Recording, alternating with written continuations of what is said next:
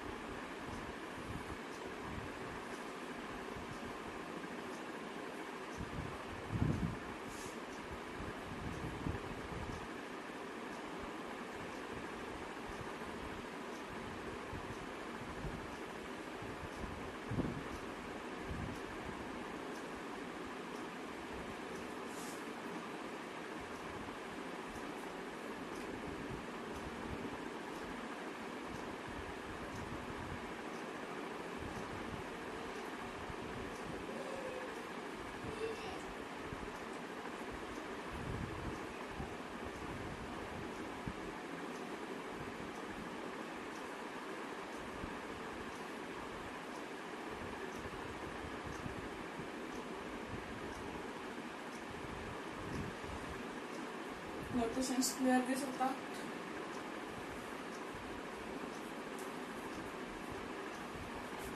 मी थोडीशी डायग्राम मोठी काढते बिकॉज व्हिडिओमध्ये uh, तुम्हाला कदाचित त्याचे नोटेशन्स दिसत नसतील.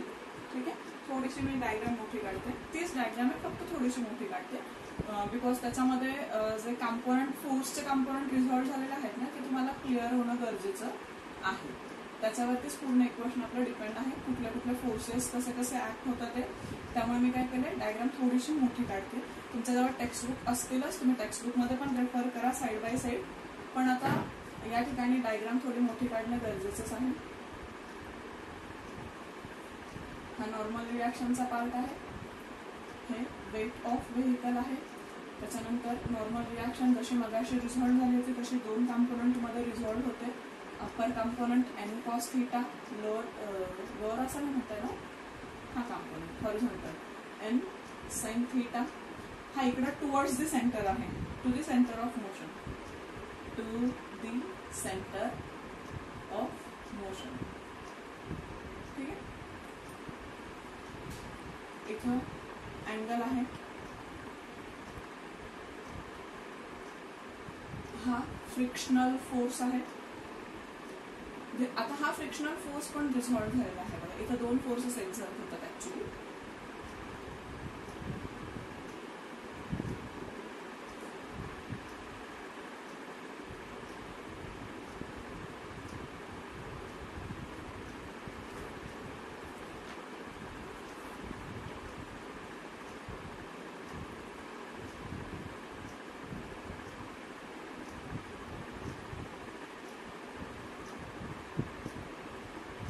बँक रोड रोड कसा आहे? बँक आहे. आणि या बँक रोडवरती speed lower speed limit lower speed limit म्हणजे कमीत कमी किती स्पीड असावं? लोअर स्पीड लिमिट म्हणजे काय? व्हेकलचा स्पीड कमीत कमी. मिनिमम किती स्पीड असणं गरजेचं आहे हे आपल्याला फाइंड आउट करायचं आहे. ठीक आहे? डायग्राम मी आधी एक्सप्लेन करते. डायग्राम एक्सप्लेन केल्यानंतर तुमच्या बऱ्याचशा गोष्टी क्लिअर होतील. Horizontal surface incline surface incline सरफेसने horizontal surface बरोबर अँगल तयार केला. अँगल ऑफ बँकिंग येस इथं व्हेकल आहे. व्हेकल या व्हेकलचं वेट आहे. व्हेकल हे कुठे आहे? इन्क्लाइन सरफेस वरती आहे. या व्हेकलचं वेट आहे M G acting vertical in the downward direction N काय आहे? Normal reaction acting vertical in the upward direction या अर्थ अर्थ सरफेस कडून या सरफेस रोड सरफेस कडून या व्हेकल वरती जो फोर्स एक्झर्ट झालेला आहे हा आहे नॉर्मल रिॲक्शन हा अपवर्ड डिरेक्शनमध्ये एक्झर्ट होतो. ठीक आहे? या टायर्समध्ये आणि हा रोड सरफेस जो आहे याच्यामध्ये रोड सरफेस आणि टायर याच्यामध्ये जो फोर्स आहे हा फ्रिक्शनल फोर्स आहे जो एफ एस ने दिलेला आहे हा असा डिरेक्ट झालेला आहे. Along that inclined surface direct झालेला आहे. F S is the frictional force ठीक आहे? याची डायरेक्शन आपण इथे बघूया. अप्पर लोअर लिमिटमध्ये याची डिरेक्शन अशी मिळते. अप्पर लिमिटमध्ये याच्या ऑपोजिट डिरेक्शन मिळते आपल्याला. ठीक आहे? हा इथे डिरेक्शन मिळाली तुम्हाला. एफ एस काय आहे? F S is the frictional force between the tyres of vehicle and the road surface आता इथं बघा. व्हेकलचे मोशन कुठं आहे? टुवर्ड्स दी सेंटर आहे. To the centre of motion सेंटरकडे vehicle काय होत असते? मूव्ह होत असते. सेंटरकडे म्हणण्यापेक्षा इथं काय होतं? सेंट्रिपिटल फोर्स आता कर्ड सरफेस आहे. कर्ड सरफेस वरती सर्क्युलर मोशन आहे. सर्क्युलर मोशन वरती फोर्स रिक्वायर्ड असतो. त्यामुळे याची व्हेकलची मोशन कशी असते? टुवर्ड्स दी सेंटर असते म्हणून इथं काय केलं to the centre of motion दिलेलं आहे. ठीक आहे? आता हा जो नॉर्मल रिॲक्शन आहे हा नॉर्मल रिॲक्शन परत दोन कॉम्पोनंटमध्ये रिझॉल्व झाला. एक horizontal component N sine theta दुसरा vertical component N cos theta बघा हा नॉर्मल रिॲक्शनचा पार्ट आहे. ठीक आहे? ही नॉर्मल रिॲक्शन दोन कॉम्पोनंटमध्ये रिझॉल्व झाली. एक जे आहे हा एन हॉरिझॉन्टल कॉम्पोनंट काय आहे? एन साइन थिटा आहे. व्हर्टिकल कॉम्पोनंट काय आहे? एन कॉस थिटा आहे. डायग्राम मधलं जे कॉम्पोनंट आहे ते मी तर सेपरेटली दाखवते. नॉर्मल रिॲक्शन काय झालेलं आहे? दोन कॉम्पोनंटमध्ये रिझल्ट झालेले. सिमिलरली इथं फ्रिक्शनल फोर्स आहे. हा फ्रिक्शनल फोर्स सुद्धा काय झालेला आहे? तर सपोज हा फ्रिक्शनल फोर्स आहे हा सुद्धा दोन कॉम्पोनंटमध्ये रिझॉल्ट झालेला आहे. हा फ्रिक्शनल फोर्स इन्क्लाइन सरफेस वरती आहे. असा आहे. ठीक आहे?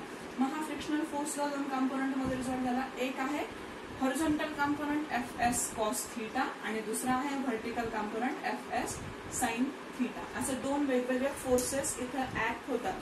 हे खूप महत्वाचं आहे स्टुडंट्स बिकॉज हे क्लिअर झालं की इक्वेशन अगदी लगेचच लक्षात येतं.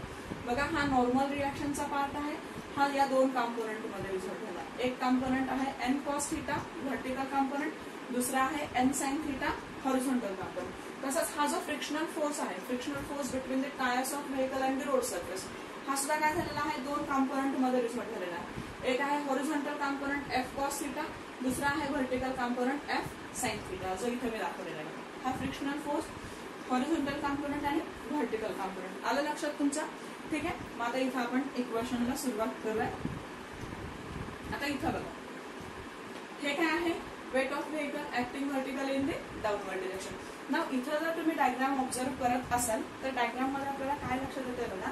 हे व्हेकलचं जे वेट आहे हे व्हेकलचं वेट या दोन कंपोनंटनी मिळून बॅलन्स केलेलं आहे. म्हणजे व्हेकलचं हे जे वेट आहे हे वेट कुणी बॅलन्स केलं या दोन कंपोनंटनी मिळून बॅलन्स केलेलं आहे. म्हणून आपल्याला इक्वेशनमध्ये कसं इक्वेशन घ्यायचंय? तर फर्स्ट इक्वेशन आपलं बघा.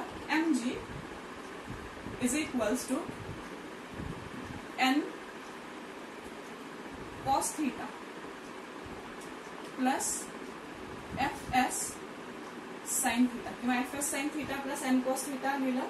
तरी चालेल डझंट मॅटर सपोज हे आपलं इक्वेशन नंबर वन झालं.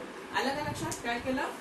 हा पार्ट जो आहे वेटचा हा कोणी बॅलन्स केला? या दोन फोर्सेसने मिळून बॅलन्स केला. या दोन फोर्सेसने मिळून याला बॅलन्स केलं. म्हणून इक्वेशन कसं लिहिलं? M G is equals to N cos theta plus F S sine theta ठीक आहे? हे इक्वेशन मिळालं वन आता सेकंड इक्वेशन आपल्याला बघायचं आता सेकंड इक्वेशनमध्ये इथं काय होत आहे तर सेकंड इक्वेशनसाठी बघा आता व्हेकल परत काय आहे? कर्व सरफेस वरती आहे. म्हणजे सर्क्युलर मोशन परफॉर्म करणार आहे. म्हणजेच काय रिक्वायर्ड आहे? Yes very good centripetal force required आहे. आणि तो रिक्वायर्ड सेंट्रिपिटल फोर्स कोण प्रोव्हाइड करतं? हा कॉम्पोनंट प्रोव्हाइड करतो. एन साइन थिटा हा कॉम्पोनंट जो आहे हा कॉम्पोनंट काय करतो? तर रिक्वायर्ड सेंट्रिपिटल फोर्स प्रोव्हाइड करतो. मग हा जो रिक्वायर्ड सेंट्रिपिटल फोर्स या ठिकाणी प्रोव्हाइड केला जातो त्यासाठी आपल्याला जे इक्वेशन मिळणार आहे ते इक्वेशन आपण बघूया. आता इथं जर तुम्ही बघितलं ठीक आहे? दोन फोर्सेस मिळतात आपल्याला. एक जो मिळतो हा एम साइन थिटा हा टुवर्ड्स द सेंटर मिळतो. दुसरा जो आहे हा एफ कॉस थिटा हा फ्रिक्शनल फोर्सचा रिझॉल्व्ह झालेला पार्ट या दोघांच्या डिरेक्शन हा जो आहे हा सेंट्रिपिटल फोर्स प्रोव्हाइड करतो आणि हा जो आहे हा काय आहे? सेंट्रिफ्युगल फोर्स आहे. बघा हा काय आहे? Goes away from the centre of circle हा सेंटरपासून कसं जात आहे गोज अवे जात आहे म्हणजे हा काय आहे? सेंट्रिफ्युगल फोर्स आहे आणि हा काय आहे? सेंट्रिपिटल फोर्स आहे. मग हे दोघं जण मिळून रिक्वायर्ड सेंट्रिपिटल फोर्स जो आहे आता रिक्वायर्ड सेंट्रिपिटल फोर्स हा कॉम्पोनंट देतोय. याच्या जागेवर हा पण कॉम्पोनंट आहे. पण हे दोघांची डायरेक्शन ऑपोजिट आहे. हे दोन्ही मिळून काय करणार आहेत रिक्वायर्ड सेंट्रिपिटल फोर्स प्रोव्हाइड करणार. हा सेंट्रिपिटल फोर्स म्हणजे हा गोज अवे आहे बट या दो- हे दोघंही मिळून काय करतात? रिक्वायर्ड सेंट्रिपिटल फोर्स प्रोव्हाइड करतात. म्हणून इथे आपण इक्वेशन लिहितोय आता रिक्वायर्ड सेंट्रिपिटल सेंट्रिपिटल फोर्सचा फॉर्म्युला काय? येस एम बी स्क्वेअर पण एम आता मी इथं व्ही वन काय लिहिते? लोअर लिमिट आपण काढतोय म्हणून. अप्पर लिमिटसाठी आपण व्ही टू लिहूया M V one square divided by R is equals to कोणी दिला हा फोर्स हा सेंट्रिपिटल फोर्स कोण प्रोव्हाइड करते हे? दोन कंपोनंट प्रोव्हाइड करतात हे. कोण N sine theta minus F S cos theta negative sign का लिहिलाय yes yes it is in the opposite direction कसा आहे हा अपोजिट डिरेक्शन मध्ये हे। दोन्ही फोर्सेस कसे आहेत अपोजिट डिरेक्शन मध्ये आहेत म्हणून इथे काय साईन दिलेलं आहे ठीक हे? पहिलं equation M G is equals to N cos theta plus F S sine theta हे झालं दुसरं equation M V one square upon R is equals to M sine theta minus F S cos theta आता काय करायचं? तर आता divide equation two by equation one divide equation two by equation one equation two ला equation one ने divide करा. मग काय स्टेप मिळणार आहे आपल्याला पुढची? M V one square divided by R divided by M G is equals to n sine theta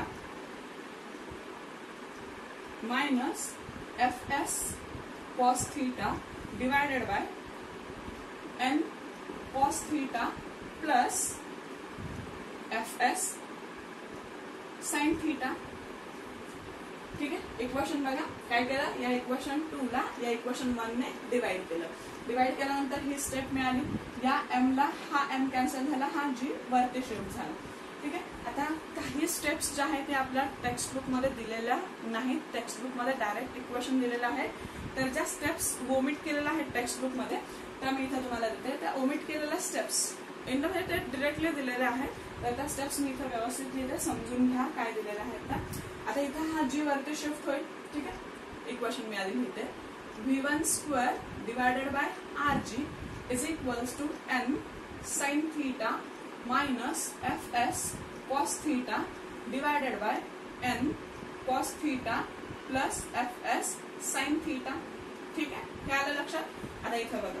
इथं आपल्याला काय करायचं एफ एस ची व्हॅल्यू सबस्टिट्यूट करायची. लास्ट लेक्चरमध्ये आपण एफ एस चा फॉर्म्युला घेतला होता. एफ एस काय असतो? F S is equals to mu s into N mu s काय आहे? कोएफिशियंट ऑफ रिएक्शन एन काय आहे? नॉर्मल रिएक्शन मग एफ एस ची ही व्हॅल्यू इथं सबस्टिट्यूट केल्यानंतर इक्वेशन कसं मिळणार आहे? Yes V one square divided by R G is equals to N sine theta minus mu S N cos theta divided by n cos theta plus mu s n sin theta. इथं पण N आहे इथं पण N आहे. इथं पण N आहे इथं पण एन आहे. दोघांमधला एन कॉमन काढायचा कॅन्सल करायचा. एन कॉमन काढला एन कॉमन काढला कॅन्सल केला. ठीक आहे? आता हे थ्रू आउट इक्वेशन जे आहे याला कॉस थीटाने डिवाइड करायचं. ही एक स्टेप आपल्या टेक्स्टबुकमध्ये दिलेली नाहीये. त्याच्यानंतर हा एन कॉमन काढून कॅन्सल करायचा ही एक स्टेप नाही आहे आणि त्याच्यानंतर कॉस थिटाने डिवाइड करायचं ही एक स्टेप नाही डायरेक्ट इक्वेशन दिलेलं. तर आता इथे काय करायचं? इच टर्मला आपल्याला कॉस थिटाने डिवाइड करायचं. मग आता एन कॅन्सल झाला आपला. एन आपण कॉमन काढून असा डायरेक्ट कॅन्सल नाही करता येत बरं का? इथं प्लस मायनस साईन आहे. याला आधी कॉमन काढायचं आणि मग कॅन्सल करायचं. ठीक आहे? एक स्टेप आपण या ठिकाणी काय करूयात आता? कॉस थिटाने डिवाइड करूयात. ठीक आहे? V one square divided by R G is equals to ठीक आहे मी कॉमन काढूनच लिहिते. N sine theta minus mu S cos theta एक स्टेप वाढवूयात आपण. उगीच प्रॉब्लेम नको. डिवायडेड बाय याच्यातून पण एन कॉमन काढला. Cos theta plus mu S sine theta ठीक आहे? या एनला हा एन कॅन्सल झाला. आता परत काय मिळाली स्टेप आता काय करायचं आता कॉस थिटाने डिवाइड करायचं. सगळीकडे. मग V one square divided by R G is equals to sine theta divided by cos theta minus mu S cos theta divided by cos theta सगळ्याचा divided cos theta divided by cos theta plus mu S sine theta divided by cos theta ठीक आहे? आता आपल्याला माहिती आहे sine theta by cos theta tan theta cos थिटाला cos theta cancel झाला. Cos थिटाला cos theta cancel झाला. Sine theta divided by cos theta tan theta ठीक आहे? मग आता पुढची स्टेप काय मिळते आपल्याला बघा? V one square divided by R G is equals to tan theta minus mu S divided by one plus mu S tan theta equation काय मिळाला? Sine theta cos theta tan theta इथं राहिला mu S इथं राहिला one plus mu S tan theta ठीक आहे? आता इक्वेशनमध्ये मी आता इथं आपल्याला डायग्राम रफ करावी लागेल बिकॉज इक्वेशन इथं जागा कमी पडते. तर डायग्राम सगळ्यांना क्लिअर झालीच असेल. मी डायग्राम रफ करते. ठीक आहे बरं.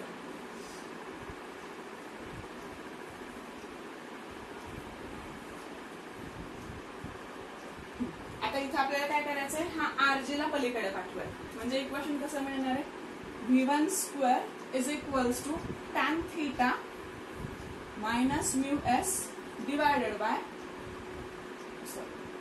R G ला आपल्याला पलीकडे पाठवायचं आर जी ब्रॅकेटमध्ये लिहूया tan theta minus mu S divided by one plus mu S tan theta ठीक आहे?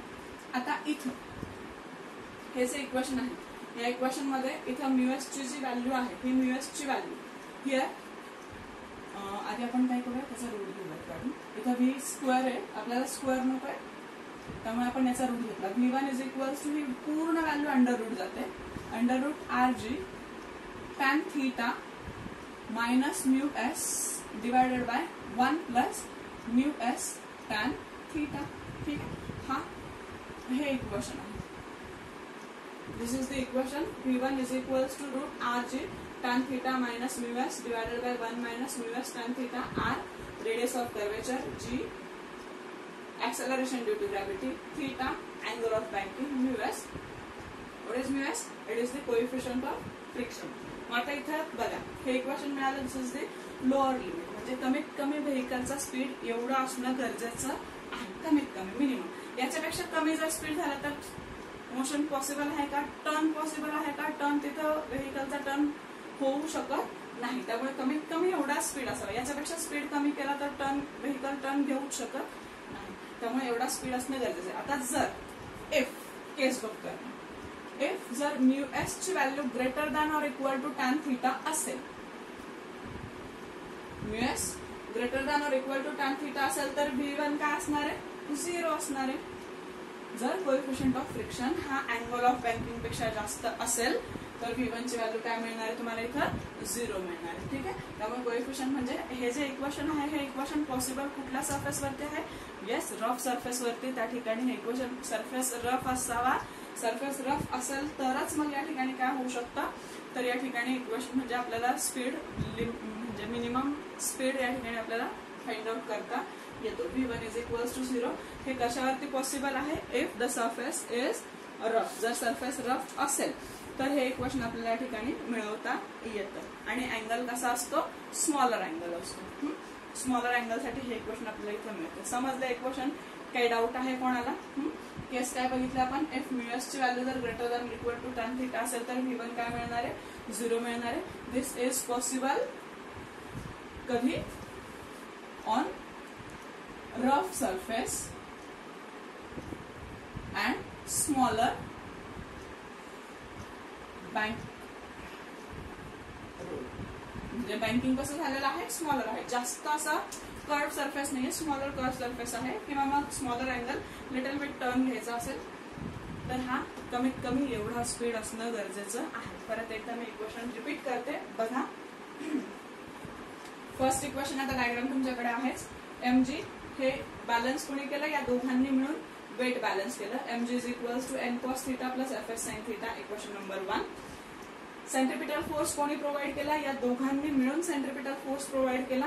त्यामुळे M V one square upon R is equals to N sine theta minus F S cos theta equation two equation one equation two two ला काय करायचंय? One ने divide करायचं.